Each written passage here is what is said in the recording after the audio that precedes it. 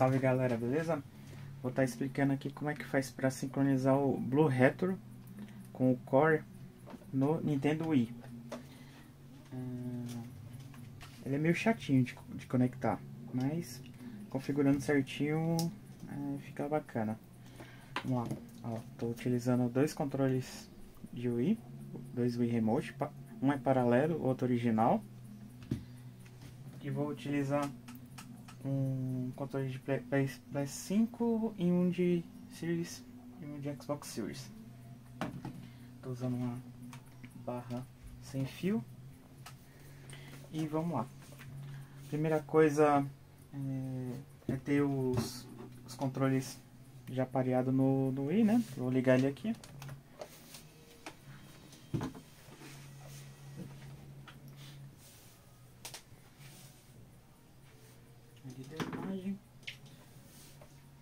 apertar lá. Ó, sincronizou aqui como o primeiro. E vou ligar o segundo. Prontinho, os dois estão ligados. Ainda não precisa fazer nada no, no Blue Retro. Vou abrir aqui o menu para se o seu Wii foi destravado, vou aqui no menuzinho para abrir o jogo. Aqui está o lembrete de Mercado Livre. É, vou aqui normalmente no USB Loader, no seu loader que você usa, né? Vou dar load. Normalmente. É, esses controles, eles funcionam como se fosse o, os Wii Classics, né? É, então para você chegar no jogo você precisa navegar aqui com, com, com o Wii Remote. Não são todos os jogos de Nintendo Wii que aceitam esse tipo de controle. Você precisa dar uma olhada no Google assim, o que que os jogos que que, que, que usam, né? No caso, eu vou testar aqui com o Smash Bros. Eu sei que o Mario Kart também aceita, tem outros, mas de cabeça não vou lembrar todos. Aí vou, vou abrir normalmente o jogo. Abrir aqui o Smash Bros. que aceita o controle clássico, né? Abrir.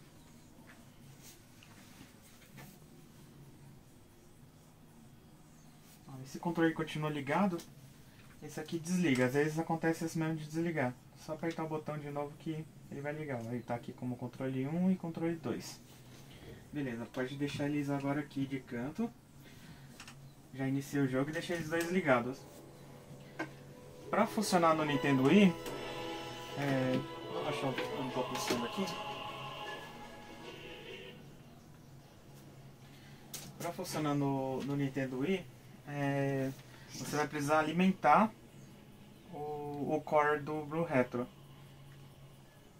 Ah, você pode alimentar no próprio Nintendo Wii, que ele tem USB. Eu gosto de utilizar também um, é, um Power Bank, também funciona. Nesse teste eu vou alimentar aqui no próprio Wii. Ou você pode ligar algum USB que tenha perto notebook, a própria tem próprios televisores tem tem USB, né? Ó, ligou, ele tá acendendo piscando. Eu gosto de sempre quando vou usar ele, dar um reset. Então você segura por uns 5 segundos. Ele resetou. Aí, resetado, é... eu vou conectar os controles. Conectei um aqui numa porta e conectei outro aqui na outra porta. Beleza, conectados. Agora nós vamos sincronizar os controles. Vou sincronizar aqui o do PS, PS5. Ele já está piscando, né? Eu já dei o reset, ele ficou piscando.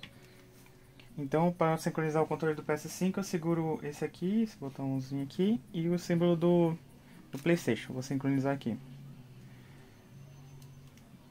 Mas já está procurando. E sincronizado. Agora, vou sincronizar o do Xbox. Ele parou de piscar porque ele já sincronizou o do, do Playstation. Vou segurar durante uns 5 segundos também aqui, para ficar procurando, ó, ele vai estar tá procurando aqui outro controle. E vou segurar o botão de sincronizar do Xbox. Aí tá procurando também.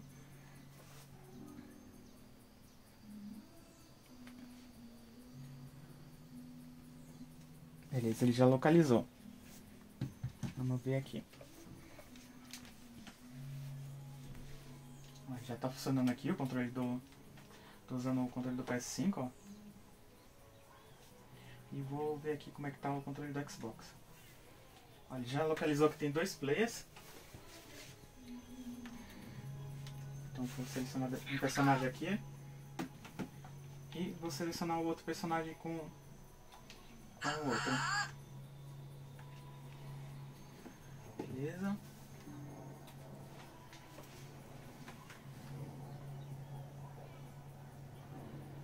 Prontinho, já estão os dois funcionando.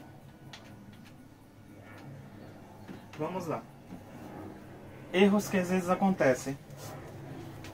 Às vezes, quando você coloca para sincronizar, ele não acha o controle. E o que eu fiz para resolver? O controle, ele, às vezes ele trava esse controle aqui. Então você pega, remove ele, quando, não tá, quando você não está conseguindo sincronizar o controle.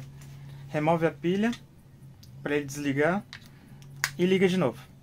E liga o controle. Que aí você reseta o controle. Aí conecta ele de novo, aí volta a funcionar.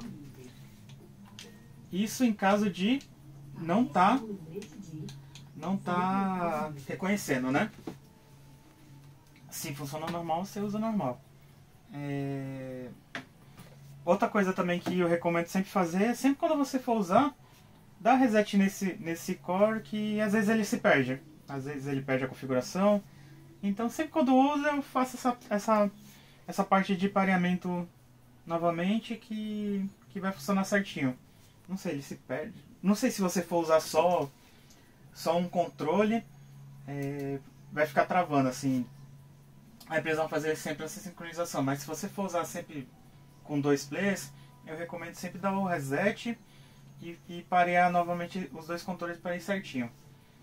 Mas tirando isso é um aparelho excelente assim para usar controles de outros outros aparelhos né, e não precisar comprar o, o Wii Classic, né?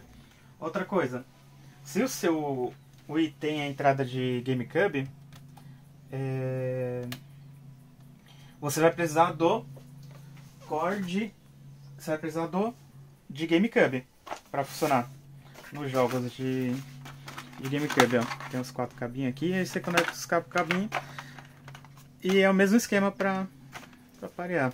Você entra no jogo e você entra no menu do GameCube, entra no jogo e depois faz o pareamento dos controles. Como é mais controle, você sincronizou o segundo controle, aí você segura de novo o botão para ficar precisando de novo, sincroniza o terceiro controle, aí depois você segura de novo o botão e sincroniza o quarto controle. Beleza? Demais, você vai conseguir comprar no meu site, newtechgames.com.br e se você quiser jogos, Everdrive Multijogos, gabitechgames.lojaintegrada.com.br, beleza? Valeu, falou!